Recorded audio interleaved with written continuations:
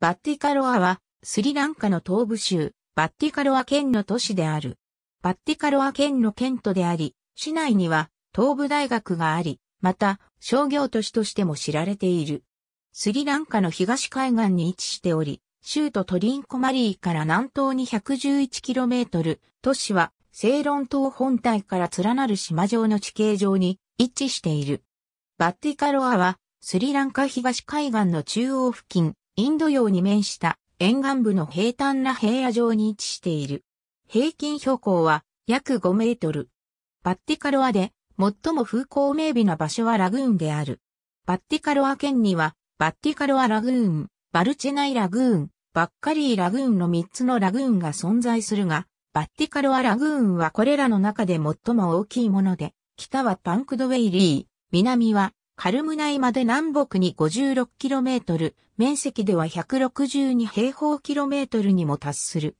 バッティカロアラグーンラグーン内には、ブリアヤンシベ、バッファロー、ボーンといったいくつもの島があり、ラグーンに架けられた多くの橋がこれらの島々と陸地とを結んでいる。プリアヤンシベは市街地のある地区である。カラディ地区に最大の橋が設置されており、県の南側から都市へのアクセスを提供している。この橋はシンギングフィッシュと呼ばれる満月の日にカラディラグーンから音が聞こえる現象でも有名である。バッティカロアのビーチは都市から近隣まで海岸沿いに 4km ほど存在する。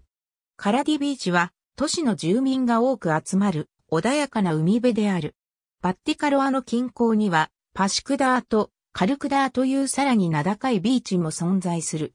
バッティカロアは欠片の気候区分で乾燥したモンスーンの気候であるサバナ気候に属す。その気候は年間を通じて温暖である。3月から5月にかけては平均最高気温は約摂氏32度になり、これらの時期が年間を通して最も暑い季節となる。11月から2月までのモンスーンの時期には大量の降水が記録され、平均気温も摂氏15度近く低下する。バッティカロアの年間の平均降水量は約 1400mm である。バッティカロアはスリランカ最大の都市コロンボから 314km 離れた東海岸に位置する。2012年時点の人口は92,332人で、スリランカタミル、スリランカムーア、シンハラ人、バーガー人、それに土着のベッタ人から構成される。バッティカロア周辺地域の主要産品は米とココナッツの二つで、バッティカロアの港は島を回る船舶の定期ルートの一つともなっている。スリランカ内戦以前はこの地域に大きなエビの養殖場も存在していた。内戦終結後は観光産業が大きな潜在力を示している。バッティカロアはスリランカの鉄道網の東海岸に向かう線の終点である。バッティカロア空港はスリランカ空軍の軍用空港とされている。ありがとうございます。